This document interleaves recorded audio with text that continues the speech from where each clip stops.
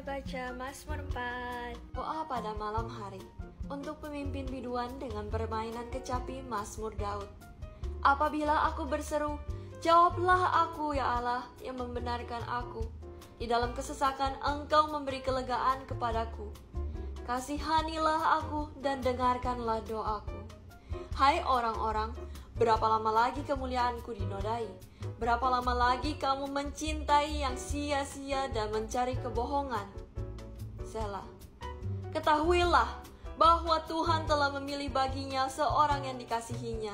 Tuhan mendengarkan apabila aku berseru kepadanya.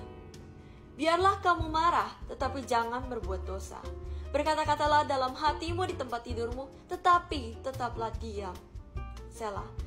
Bersembahkanlah korban yang benar dan percayalah kepada Tuhan. Banyak orang berkata, "Siapa yang akan memperlihatkan yang baik kepada kita?" Biarlah cahaya wajahmu menyinari kami ya Tuhan. Engkau telah memberikan sukacita kepadaku, lebih banyak daripada mereka ketika mereka kelimpahan gandum dan anggur.